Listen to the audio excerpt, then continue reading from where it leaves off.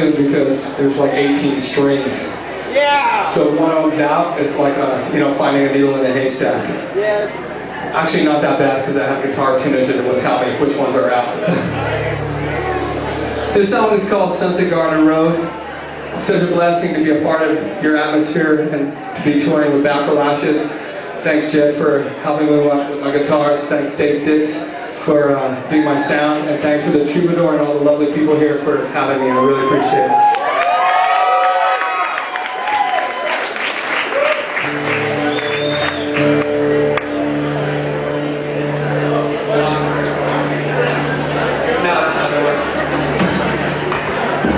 You gotta get the stool just right.